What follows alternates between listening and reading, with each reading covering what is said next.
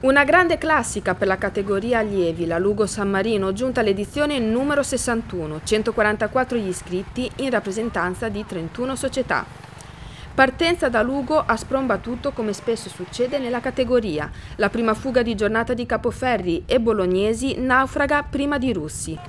Ma per Ludovico Crescioli non si è trattato di una vittoria facile perché Garofoli e Butteroni hanno lottato fino in fondo. La battaglia finale si è sviluppata lungo le pendici del Titano, con momenti di alterne fortune tra i tre atleti, ora dinanzi l'uno, ora dinanzi l'altro, ma più spesso insieme o piccoli intervalli sino all'epilogo finale allorché mancavano 4.000 metri al traguardo.